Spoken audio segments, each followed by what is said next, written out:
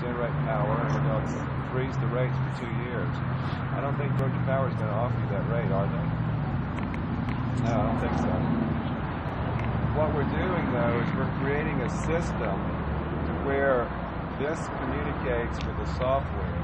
And what our real goal is, is to go to South Georgia, South Georgia farmers, and say, put solar panels on your property, and we'll connect those to the grid. Power through the grid, and we'll give credit to somebody else in the state who wants it. And you may say, well, tell me a little bit about that.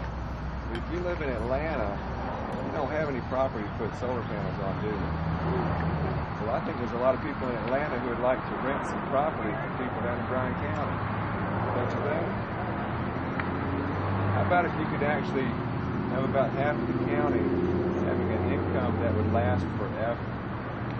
That would be an investment that we make today that our generations in the future uh, will be able to take advantage of. Now, the possibility of that happening is real.